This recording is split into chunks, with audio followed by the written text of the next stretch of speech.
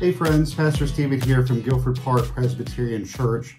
Hope that you are having a good week.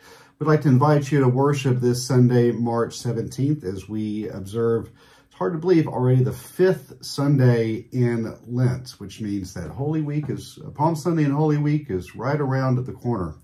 Last Sunday, we talked about that, uh, that infamous passage where Jesus tells uh, Peter and the disciples that he must suffer and die and then be raised. And Peter rebukes him, pulls him aside and says, God, that Lord, that can never, ever happen. And Jesus rebukes Peter in turn and says, get behind me, Satan. You are being a stumbling block to me. We talked a little bit about the ways that we get hung up on certain things. We use the metaphor of the fermata. I'm trying to make a fermata here with uh, with my hands here.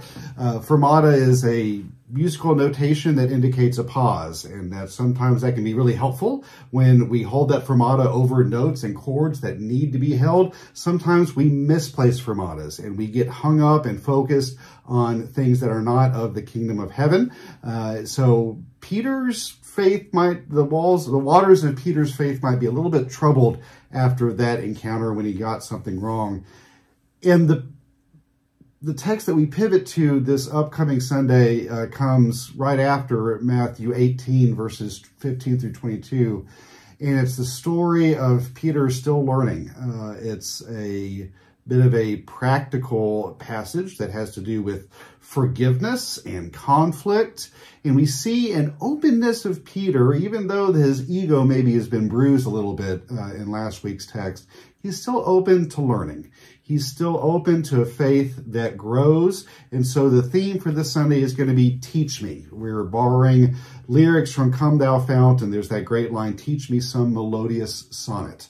That'll be the focus of our time together. What are the ways on this Lenten journey as our hearts wander that we are open to change, that we are open to learning new things. Uh, we're going to move those fermatas together to different places to see where God is calling us to fix our focus. That'll be the topic for this Sunday. Again, Matthew 18, verses 15 through 22.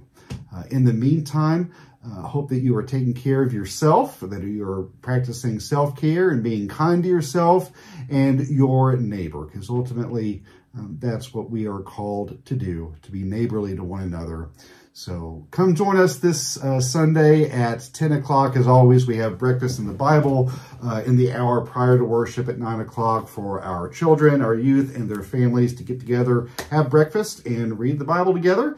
And then we have children's music at 2 o'clock in the afternoon. So be well, take care, and we hope to see you this Sunday at 10. Remember, there's room for you in the neighborhood. All.